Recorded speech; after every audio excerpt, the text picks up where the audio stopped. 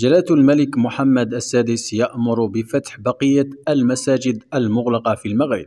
أعلن وزير الأوقاف والشؤون الإسلامية أحمد التوفيق اليوم الاثنين بمجلس النواب أن الملك محمد السادس أمير المؤمنين تفضل وأعطى توجيهاته السامية بأن يبدأ الفتح التدريجي للمساجد المغلقة. وأصدرت وزارة الأوقاف والشؤون الإسلامية بلاغا ذكرت فيه أن أمير المؤمنين صاحب الجلالة الملك محمد السادس تفضل فأعطى توجيهاته السامية ببدء إعادة فتح المساجد المغلقة تدريجيا وبتنسيق مع السلطات الصحية والإدارية مشيرة إلى أنه سيعلن لاحقا عن جدولة هذه العملية.